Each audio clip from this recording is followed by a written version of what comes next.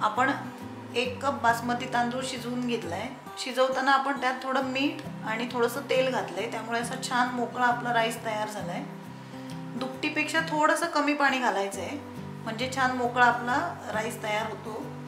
फोडणीसाठी आपण घेतलंय एक टेबलस्पून बटर अर्धा टीस्पून शहा जिरे एक टेबलस्पून साधं जिरं घेतलंय आपण पाव टीस्पून आपण साखर घेतली आहे मीठ घेतलंय आपण शिजवताना घातले त्यामुळे थोडंसंच मीठ आपण पुन्हा राईस फोडणीला घालताना घेणार आहोत. कोथिंबीर बारीक चिरलेली भरपूर घेतली आहे अर्धा कप. आणि थोडंसं तेल घेतलं आहे आपण एक पॅन गरम करून घेतलं आहे त्यात बटर घालणार आहोत.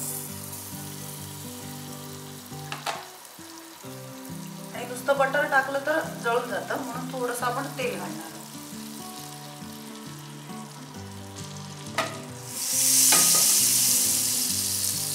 यावर आपण सहा जिरे. जिरे. हे दोन्ही थोडं परतून घ्यायचंय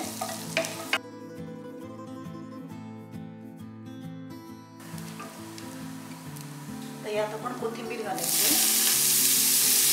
साखर घालायची.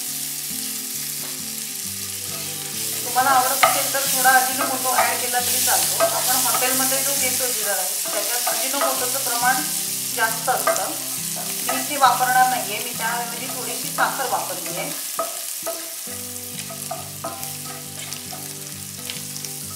आपण आज शिजवताना मीठ घातलंय.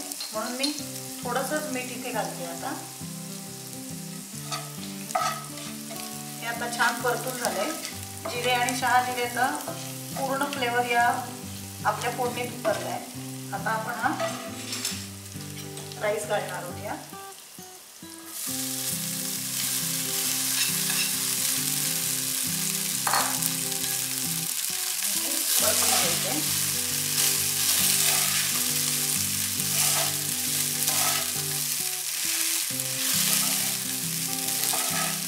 फक्त राईस मिक्स करताना हलक्या हाताने मिक्स करायचं आहे. नाहीतर मोडेल आपण जेव्हा हा मी जो राईस आहे तो कुकरमध्ये दोन शिट्ट्या काढून शिजवून घेतला आहे पाणी थोडंसं कमी घातलं आणि तेल घातलं की छान मोकळा असा राईस तयार होतो. अगदी हॉटेल स्टाईल आपला जिरा राईस तयार आहे. व्हेज नॉन व्हेज कशाही सोबत आपण हा सर्व करू शकतो.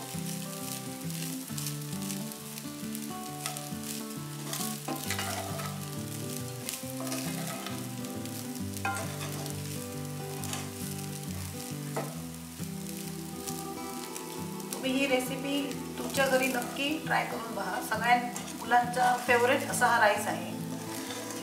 आता फक्त दोन मिनटं झाकण ठेवून एक वाफ काढायची आहे. म्हणजे जिरा राईस छान तयार होईल आपला. आता दोन मिनटं झालेली आहेत. आपण बघू शकता छान वाफ आली आहे.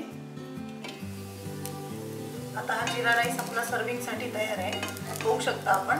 जसा आपण हॉटेलमध्ये घेतो तसाच दिसतोय हा. आणि चवीला पण तसाच लागतो. तुम्ही ही नक्की ट्राय करून पहा. आपण गॅस बंद करू.